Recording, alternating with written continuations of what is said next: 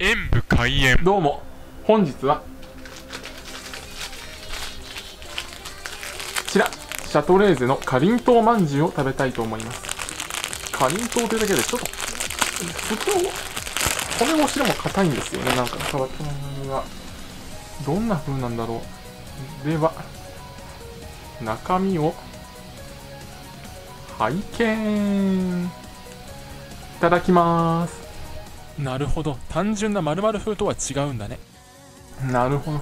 かりんとうと聞いて単にかりんとうの味がするそれっぽい雰囲気があるということなのかもしれないと思ったのですがそうではなくて外のまんじゅうもしっかり固めになっているんですね。